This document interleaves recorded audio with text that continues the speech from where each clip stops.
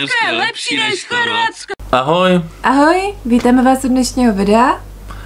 dneska si řekneme něco o tom, jak pronajmout nemovitost v Bulharsku. Ono to zní většinou hodně jednoduše, že jo, pořídím si apartmán, nebo tak realitky to hodně slibují, pořídíte si apartmán, když tady budete chtít být, tak tady budete měsíc, že jo, 14 dní a zbytek jednoduše pronajmete, je to strašně jednoduchý, my vám se vším pomůžeme a tak dále. No, ale jaká je realita? Podíváme se dneska, jestli je ta realita opravdu tak jednoduchá a taková skutečná, jak vám ty realitky slibují. Skutečná? Mhm. A jaká je neskutečná realita? No, istinská. Jo, tak Mhm. dobře. Na začátek bychom si teda možná mohli říct, jak to většina lidí řeší, když má nějakou nemovitost tady v Bulharsku. A tak eh, většinou to lidi řeší tak, že sami tady chtějí přes tu sezónu nějakou dobu být. Aspoň měsíc. Nebo dva. A na ty měsíce, kde tady nejsou a je ještě hezky, tak to chtějí pronajmout. Často, často si vystačí se svýma kamarádama, známýma, rodinou, ale je tady spousta lidí, kteří těch apartmánů mají víc a ty to samozřejmě potom někde pronajímají. Mhm. Ne, někde pronajímají, někde inzerují. Někde inzerují. Tak samozřejmě nejčastější je Airbnb nebo Booking, jo, takže tam, tam to většinou inzerují, nebo to inzerují různě v nějakých skupinách a tak dále. A tady se dostáváme potom na takové um, takovému to dilematu. Jak To... Dilematu. Asi úplně k zásadní, k zásadní věci, ne? zásadní věci, ano. Není dilema. Ano, není to dilema. tak by to prostě mělo být. Jo. Jak, jak by to vlastně mělo být? Jak by to mělo být? Jak by se měl takový příjem danit? Jestli ho můžu danit v České republice? Potom samozřejmě tady vznikne nějaké DPH z provize, jo, které by se mělo taky někde uhradit, jo, pokud používáte Airbnb a Booking, jo, jak to můžu udělat? No a jako jestli, jestli můžu použít nějaké české SRO, nebo jak vlastně, jak vlastně mám postupovat, aby to bylo legální. Takže teďka si o tom trošku řekneme. Nejdřív si řekneme, co si lidé třeba myslí, jaký jsou představy. A Ne, ne, ne, co si myslí, ale spíš tak jako, jak to dělají, ne? jak to dělají, no. Takže někteří lidé, kteří to chcou ten příjem zdanit, Takhle. Nejčastější si myslím úplně, že je, že to lidi neřeší vůbec. ano, jsou je dost lidí, kteří to neřeší vůbec, to si musíme říct na rovinu. Že to prostě pronajmou, vyberou peníze a a nic. a nic, no.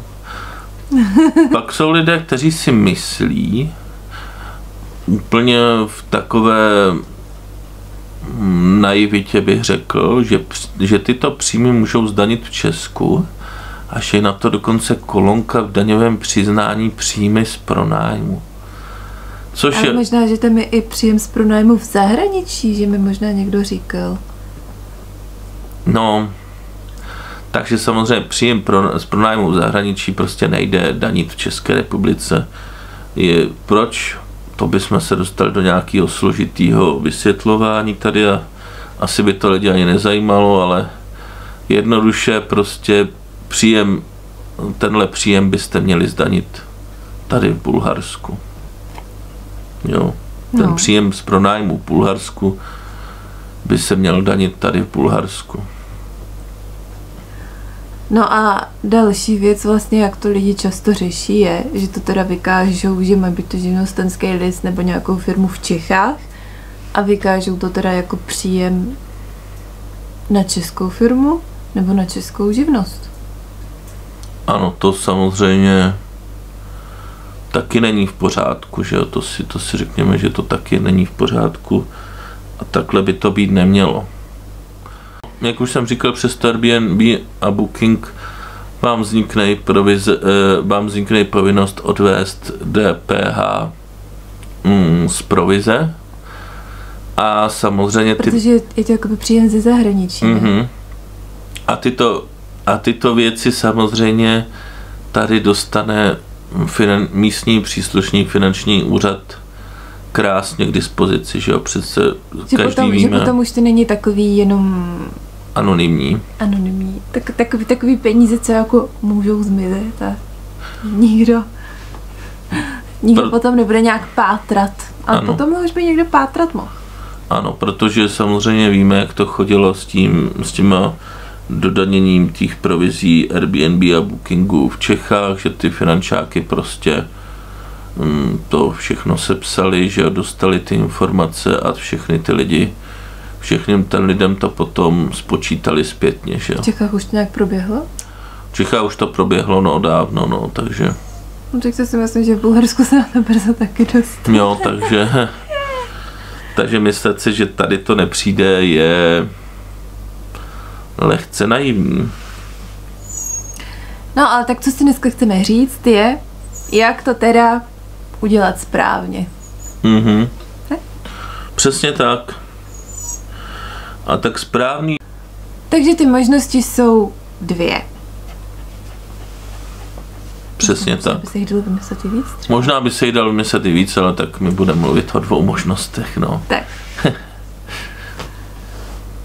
První je, že si v Bulharsku založíte firmu. A o tom už jsme asi někdy v nějakém videu mluvili, ne? Jak se ta firma dá zaregistrovat a co všechno tak nějak souvisí s tou firmou a tak. No, nevím, jestli jsme to rozebírali úplně dopodrobná, jo, ale Jo? No, ne? mhm, něco jsme určitě k tomu už řekli, no. Takže založíte si firmu. A s tím, že budete teda pronajímat dům nebo byt. A uh, tam pak vznikají nějaké náležitosti k tomu, jak ten byt nebo ten dům musíte zaregistrovat, aby, abyste ho mohli pronajímat. Ano. Vy to vlastně musíte zaregistrovat, to ubytování, které poskytujete, musíte zaregistrovat na obci. Tam řeknete, kolik chcete mít hvězdiček. Podle toho, kolik chcete mít hvězdiček, tolik zaplatíte příslušného licenčního poplatku. No ale ono to taky není úplně takhle, že jo? Protože ty si třeba řekneš, že chceš mít čtyři hvězdičky, zaplatíš si čtyři hvězdičky, Mhm. ale pak, ale pak ti přijdou, Pak ti přijdou to to zkontrolovat. přijdou zkontrolovat a řeknou, že třeba ty hvězdičky nedají a to ti vrátí ty peníze? No, hm, to nejsem si úplně jistý o vrácení peněz, ale asi jo, jo, asi by ti měli vrátit ty peníze, když třeba, když třeba to zkontrolují a řeknou, že to má jenom tak na dvě hvězdičky místo čtyře, že jo, tak, tak bys třeba nedoplácel ten, protože se to platí, ten, ta licence se platí jako na, na dvě části, na dvě poloviny, no, takže No to je jedno, takže, jo, takže prostě musí se vyplnit žádost o, Hmm. o tom baráku nebo o tom bytě. Vyplňuje se žádost, a musí se to na obci nebo v městě nebo ve vesnici, kde to máte zaregistrovat. A musíte si teda vybrat počet těch hvězdiček, kolik chcete a dostanete licenci. Ta licence se dává na pět let, minimálně asi, že jo? Já myslím, že je to jenom na pět let, nic jiného asi nám nenabízeli, no. No možná nám nabízeli i další. Mm, A stálo to víc peněz. nevím, Myslím, tak je to prostě na pět let. Na začátek je to prostě na pět let. A uh, stojí to teda 60 levo. A potom za každý lůžko, který máte v tom bytě nebo apartmánu, ne, bytě nebo domě, bytě nebo apartmánu. no, tak to je jedno, no. A za každý lůžko, který v tom bytě máte, uh, zaplatíte 20 levo. A při té jedné hvězdě. Při, ano, při jedné hvězdičce. Jak je to při hvězdičkách, to nevíme. Ano. Ještě teda je jedna zajímavá věc, že vlastně ta licence je, se vztahuje k té nemovitosti. Takže vy třeba teoreticky můžete koupit nemovitost, kde ta licence je. Jo. Nemovitost teda už má tu zaplacenou licenci, takže vy si tu licenci nebudete muset platit.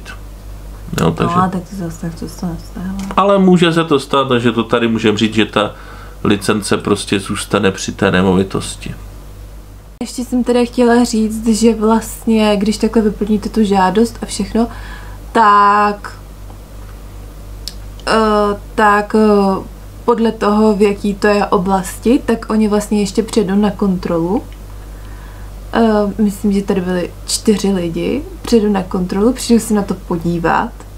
Ano, přijdou se na to podívat. Fakt celý to jakoby prolezou a i když, i když je to třeba nejenom na tu jednu blbou hvězdičku, fakt, fakt to všechno projdou, sledujou, zkoumají prostě, no, hrozný. hrozný a e, může se třeba stát, že k tomu mají nějakou připomínku a řeknou vám, že prostě se jim jako něco nezdá a že to musíte třeba do 14 dnů jako odstranit. Jo, takže, takže jako ty, ty, ty hvězdičky se kontrolují. A co teda, co, co teda k tomu chtějí, tak chtějí vždycky, aby ta... mm,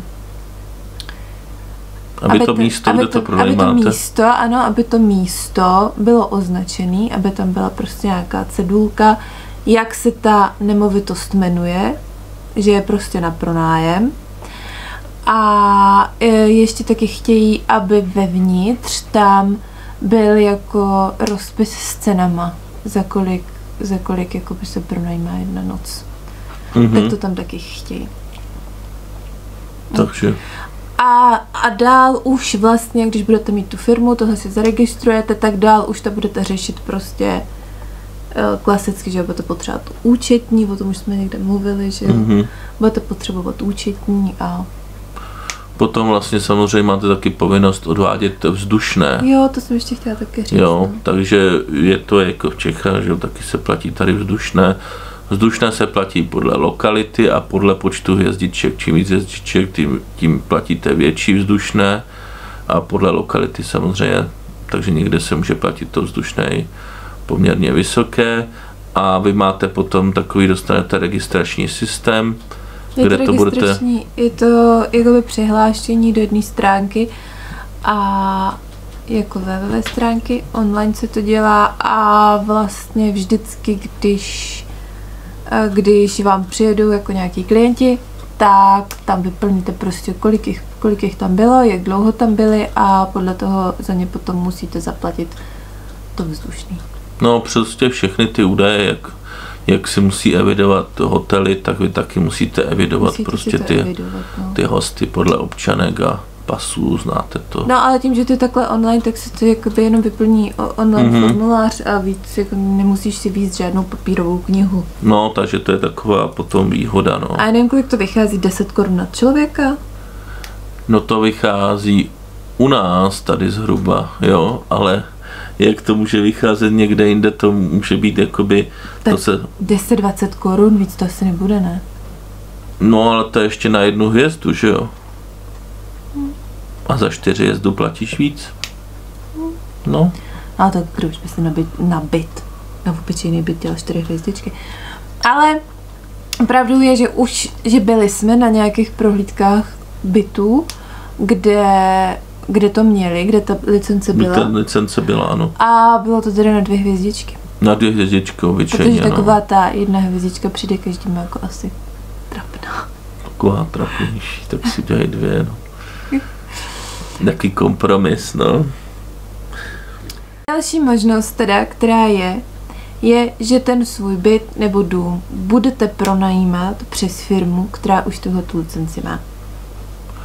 No takhle, jako bych řekl, uh, vy, mus, vy byste to pronajali jakoby té firmě a ta firma na to si stejně musí vyřídit tu licenci, Ale jakoby na ten barák, na tu nemovitost, ale ta firma už jakoby eh, si jinak to půjde všechno za tou firmou.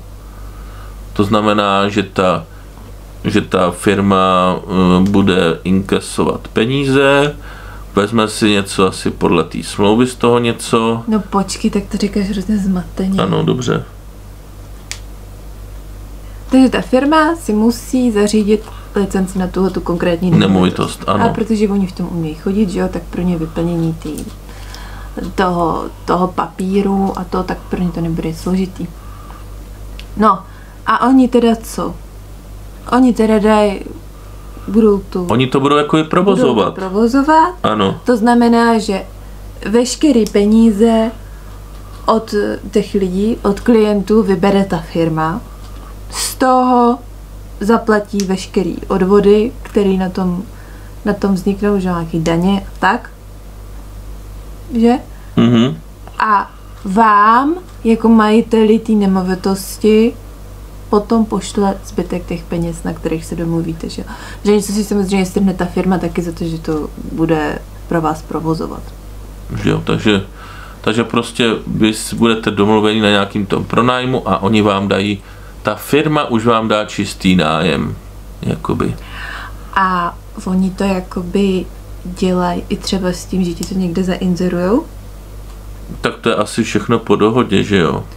A dělají to třeba i s tím, že ti tam jakoby chodí po těch klientech uklízet. No tak to je jejich odpovědnost, že jo, takže oni ti musí potom uklidit, že jo. Já se jenom ptám, No tak jako z logiky věci, když oni to provozují, tak, eh, tak to budou, tak se budou muset o všechno starat, starat ta firma. Jo. kolik ti teda potom může zbyt peněz z toho. Tak to je všechno o nějaký dohodě. A oni budou platit i... Uh, Oni si povedou účetnictví svoje, ne, uh, oni budou platit i to, jak se to jmenuje? Elektřinu a vodu? no tak eh, asi je to na dohodě, ale asi by měli platit tu elektřinu a vodu, že jo? Protože by to byl logicky ten náklad, který tam vstupuje, jo? A tím pádem by o to měli nižší, o to by, o to by nižší se platily ty daně, takže zcela logicky by měli platit i tu elektřinu a vodu, jo? No dobře. A teď teda v každém případě uh, ty, ty jako osoba, teda ale od nějaké bulharské firmy, potom vyinkasuješ nějaké peníze, Nějaký které peníze. taky nemůžou zůstat jen tak vyset někde ve vzduchu prázdnu, ne? Ano, samozřejmě, tyhle peníze taky nemůžou uh, z, uh, někde jako vyset ve vzduchoprázdnu, přesně jak říkáš. Ale tam už je to jednoduché, vlastně celý ten, celý ten balík těch peněz za ten rok se akorát zdaní podle smlouvy o zamezení dvojího zdanění s Bulharskou republikou. Protože jinak by ti to o tom, kdyby nebyla smlouva o zamezení dvojího zdanění, tak by to zdanili jak Bulhaři, tak i Češi. Takhle smlouva o zamezení dvojího zdanění říká, že to daní jenom jedna strana, v jakých případech to daní jaká strana a jakou sazbou. Přesně to říká smlouva o zamezení dvojího zdanění, přesně vysvětluje veškeré tyhle náležitosti. Dobře, a když já to teda tady v Bulharsku budu chtít zdanit příjem tady z mojí bulharské nemovitosti, nemám tady firmu, jsem tady jenom jakoby osoba, Mhm. která sem občas přijede na dovolenou, tak půjdu kam? Kde, kde, kde to tady? Půjdu na ten finančák, v tom, jak je třeba v Dobřichu, že jo? Ale teď jsme s tím měli strašný problém, teď kdyby tam nešla ta účetní, tak ti to přece vůbec nedají. Já protože oni jsou úplně dutí, že jo? Ale tak řekneš, si tady prostě, tady mám tenhle jsi to příjem. řekl. No, A dnes jsi něco jiného. no, já jsem měl něco jiného. Tady mám tenhle příjem, tady mám potvrzení o tom, že jsem, eh, že mám daňový domicil v České republice. No, Jo, a, a tady chci zaplatit prostě tady tu daň, těch 10%, takže možná to můžeš zaplatit rovnou na kase, že jo? a víš, co ti řeknou? Že to v životě neviděli.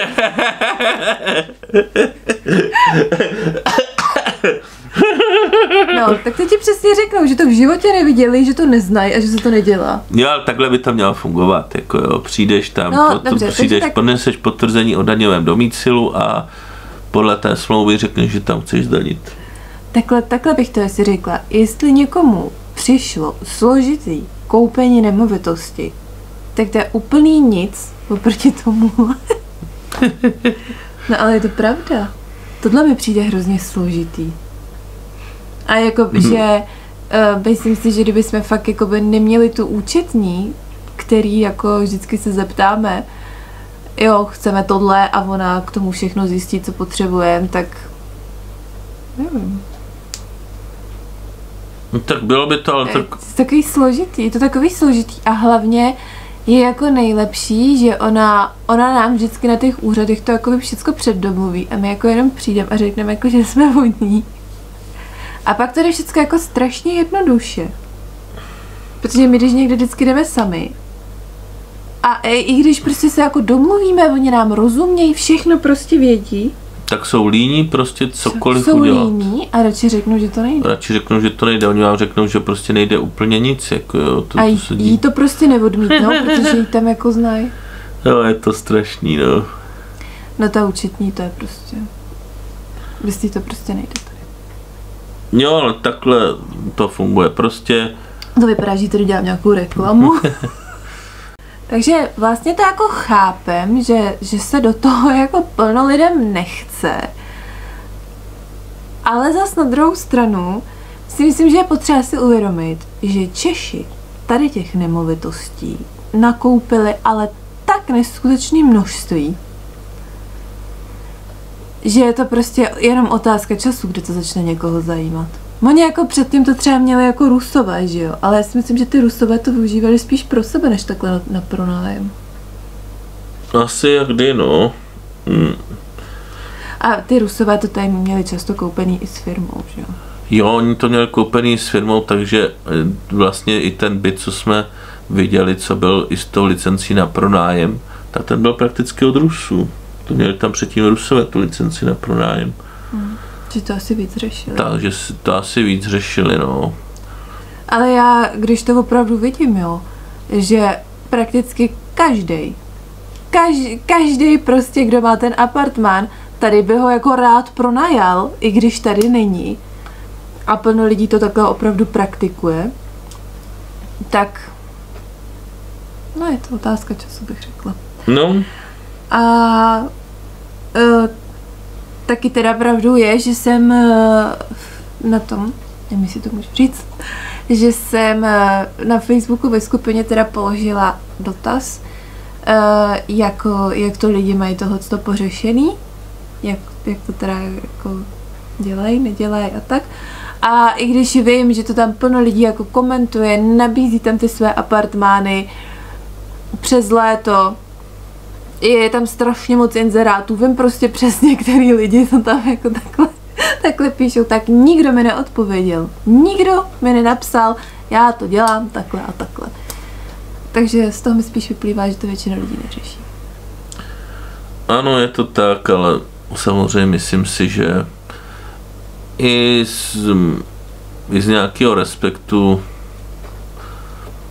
vůči Bulharsku a tak dále, jo, by to prostě daně, daně by se platit měly, no, a v Bulharsku nejsou nějak extrémní opravdu. Jsou jedny z nejnižších daní no, v Evropě. Teď to normálně vypadá, jak kdyby nás prostě nějaká bulharská vláda zaplatila, ať jako vyzýváme lidi platte daně. Žádnou da, danu neznáme, takže nevím. Každopádně, kdyby nás chtěli sponzorovat. Jo, jo, jo. Tam myslím, že tak se nebráníme ničemu. ano.